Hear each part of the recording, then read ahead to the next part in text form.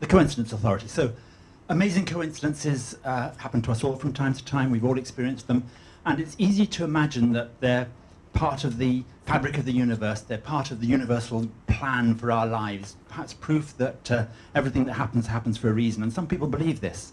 And Azalea Lewis in the book does believe this. She has lived a life that has been blighted by coincidence. And uh, when Azalea looks at her life, she sees a pattern of coincidences heading out into the future. And if she plans them forward, it seems to end in her own inevitable and untimely death. So, Azalea consults Thomas Post. He's the coincidence authority. Thomas is a mathematician, he's a philosopher, he's a procrastinator. Thomas can explain every coincidence away. Uh, he can always disillusion you. Thomas lives in a world where he, of, of dusty seminar rooms, hunched over his computer, working out the mathematics of chance. That's what he does. And what drew me to the story, I think, was wondering what would happen if these two extreme views of the universe were ever to meet. You know, could they get along?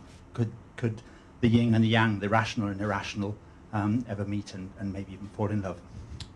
Um, when reviewers review the Coincidence Authority, they often mention the uh, scenes in Africa, and this was very important for me.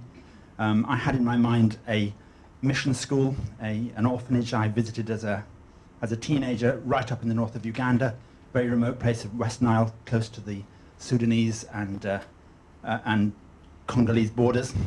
And I've often wondered over the years what became of that, that orphanage and, and how it's survived and how it, under the, under the shadow of Joseph Kony and the Lord's Resistance Army. So I let Azalea in the book grow up there. And um, for me, that was the central part of the book. It was the heart of the book.